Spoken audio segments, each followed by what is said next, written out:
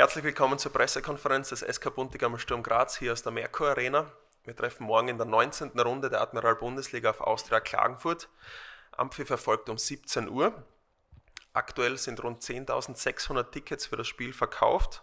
Die Stadionkassen öffnen morgen um 12 Uhr. Bereits ab 10 Uhr gibt es Tickets im Fanshop Liebenau zu erwerben. Ebenfalls bereits im Verkauf sind die Tickets für das Lask-Spiel im Cup-Halbfinale. Black Member und Junior Member können seit heute Tickets erwerben. Der freie Verkauf startet nächsten Freitag. Jetzt war volle Konzentration auf das morgige Spiel, darf unseren Cheftrainer Christian Ilzer bei mir begrüßen. Chris, wir sind im Frühjahr noch unbesiegt. Was muss deine Mannschaft morgen zeigen, damit das so bleibt?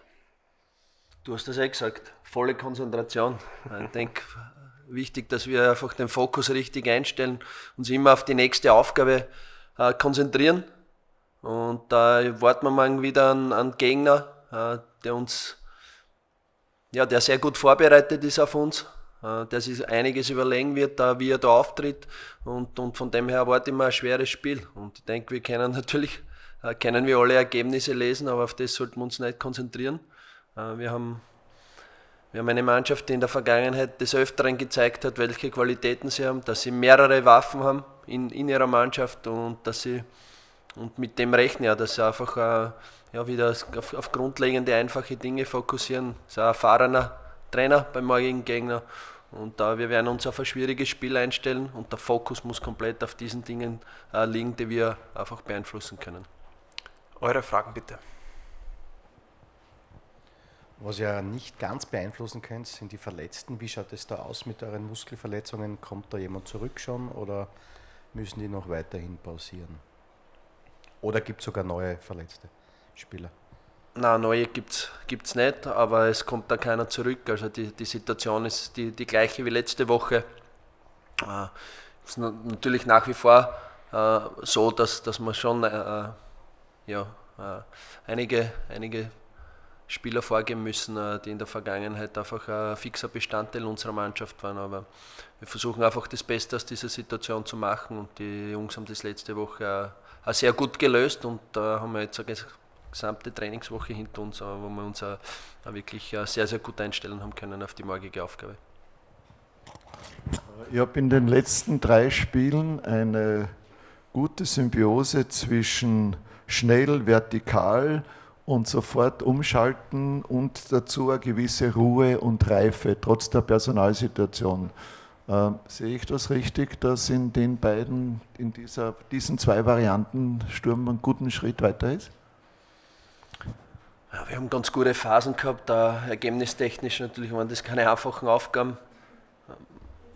Die ersten zwei das Cup-Spiel in Salzburg zu Hause gegen Rapid und natürlich auch das Steirer-Duell mit Hartbeck, die sie ja im Winter sehr gut aufgestellt haben, äh, waren, waren, das, waren das schwierige Aufgaben. Phasenweise haben wir, haben wir diese war man im, im Spiel dann auch richtig gut. Äh, es gibt natürlich auch Phasen, die haben mir weniger gefallen. es ist natürlich so, wenn, wenn das Wort Ruhe zu viel vorkommt, ist es nicht das, was, was mir dann äh, ja, besonders, besonders gefällt oder wo ich, wo ich dann, dann Luftsprünge mache. Äh, es ist, unser Spiel wird schon von Intensität, von Aktivität getragen und äh, da gefallen mir dann so Phasen, wenn man dann in, mit einer Führung dann äh, ja, in, in so einen zu ruhigen Verwaltungsmodus gehen, das gefällt mir nicht, das haben wir auch besprochen, es war sicher ein Thema in Hartberg, wo wir dann zweite Halbzeit sicher zu viel in, äh, in die Passivität gerückt sind, zu inaktiv geworden sind. Und äh, das sind Phasen, die wir, die wir dann einfach reduzieren müssen im Spiel und die wir dann nicht so auf diese Art und Weise zulassen dürfen, wie es in Hartberg war. Ähm, aber das haben, wir, das haben wir besprochen, haben wir aufgearbeitet mit der Mannschaft und äh, ja, von dem her äh, gibt es natürlich auch noch trotz drei guter Ergebnisse Verbesserungspotenzial. Du hast den Gegner ja schon, schon sehr, sehr gut dargestellt. Die haben wir heute die Statistik angeschaut. Das 0 zu 3 in der letzten Runde gegen WAC. Es gibt keinen Parameter, wo Klagenfurt nicht weit vorne war. Also ob 64% Ballbesitz, ob Ballstärke, Passqualität 83%, Ecken, Flanken, Foul. Sie waren sogar bei Fouls. Sie waren überall weit vorne und 0 zu 3, das zeigt eigentlich schon ein bisschen aus, wie das oft so gehen kann, oder? Ja, also waren es doch natürlich in jedem. Im entscheidendsten Parameter waren es dann da nicht vorne. Okay. Das, Ja. Das weiß natürlich mein, mein Trainerkollege, der Peter Bakul, sehr, sehr genau und er hat genügend Erfahrung. Er wird, er wird die richtigen Worte finden, er wird die, äh, ja, die richtigen Lösungsansätze. Ich gehe mal davon aus, dass einmal das Spiel auch wieder stark vereinfachen werden und da ja, extrem leidenschaftlich, kampfkräftig ja, mit, mit der einen oder anderen Veränderung dann morgen da auftreten. Das, ist, das kann, können wir eh nur antizipieren. Wir können versuchen, uns auch bestmöglich einzustellen auf das, was uns erwartet. Wir erwarten ein schwieriges Spiel, äh, aber das Allerentscheidendste ist, dass wir auf, auf, das fokussieren, was wir beeinflussen können. Und das ist unser Spiel. Und dahingehend muss unsere Energie in der Vorbereitung gehen. Dahingehend ähm, müssen wir uns dann auch äh, äh, bestmöglich dann morgen zeigen und da bestmöglich unsere Arbeit, unseren Job dann am, am Platz verrichten. Ja, bitte. Chris, was hättest du denn gern für einen Punkteabstand zu Salzburg am Ende des Grunddurchgangs vor der Teilung? ich kenne es mir äh, jetzt auch schon eine Zeit, deshalb weißt kannst du wahrscheinlich, so wie ich versuche, Klagenfurt zu antizipieren, wirst du antizipieren können, was ich da darauf sage, äh, dass ich mich nicht äh, verirre im Tabellenlesen und im Tabellen antizipieren, sondern auf das fokussiere, was ich beeinflussen kann. Und das ist natürlich meine Mannschaft top auf, auf die nächst vor uns liegende Aufgabe einzustellen und das ist Austria Klagenfurt. Und wenn wir Woche für Woche unsere Aufgaben auf einem, auf einem sehr, sehr guten Level erledigen, wenn wir es schaffen, unser Potenzial äh, bestmöglich zu nützen, äh, dann werden wir was uns betrifft, dann einen sehr guten Punkteschnitt haben. Aber wir werden es nicht beeinflussen können, was Salzburg macht. Worauf muss man besonders aufpassen, weil ja das Spiel der Kärntner sich doch ein bisschen verändert hat, zumindest der Versuch auch im Ballbesitz aktiver zu sein. Das war in der ersten Saison, in der Aufstiegssaison eigentlich nicht das Hauptthema. Ist das für euch auch ein Ansatz oder ist es eigentlich ähm, überhaupt kein Thema, weil generell eher man von den eigenen Stärken so überzeugt ist?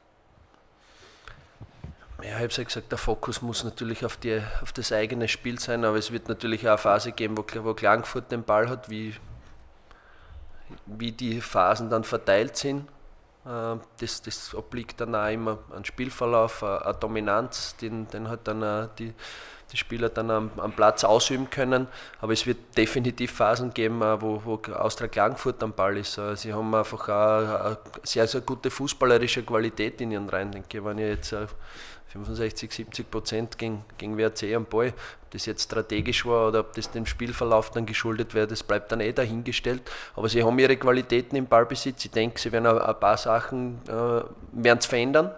Äh, davon gehe ich einmal fest aus. Ähm, wir werden konfrontiert sein mit, mit einem kompakten Block, äh, sehr eng, enge Räume, äh, zweikampfstarke Spieler das wird da sicher ein Hauptpunkt sein, dass wir Lösungen finden müssen.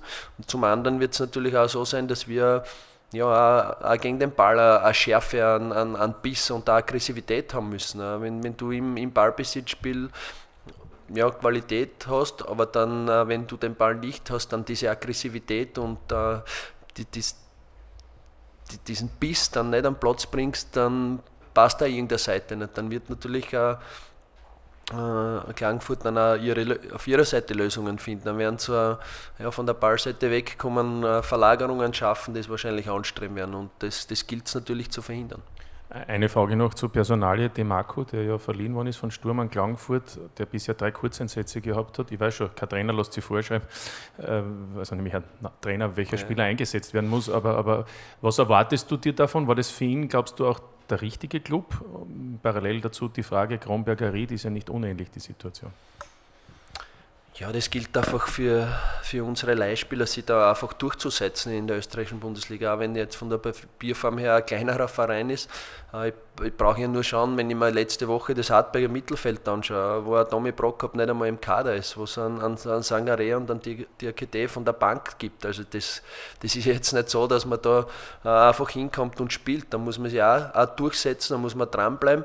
Und äh, ich glaube, und das ist ganz ein wichtiger Reifungsprozess auch für unsere Spieler, vor allem auch für junge Spieler, die sagen, hoppala, ich muss jetzt auch außerhalb, ich kann jetzt auch sagen, okay, ich habe die Qualität, die mitbringe, aber ich muss jetzt auch mental schaffen, einfach dran zu bleiben, da zu stehen, auch einfach mit, mit guten Konkurrenz ähm, durchzusetzen. Und jetzt auch, wenn ich nach, nach Klagenfurt schaue, äh, mit, mit mit Zvetka, Irving, da sind natürlich auf den Achterpositionen auch absolute Qualität da. Aber für, für den Weser ist es natürlich jetzt die Challenge, dass er sich gegen, gegen diese Spieler dann auch durch, durchsetzt über das Frühjahr. Gibt es noch weitere Fragen? Ah, schönen Nachmittag und bis morgen.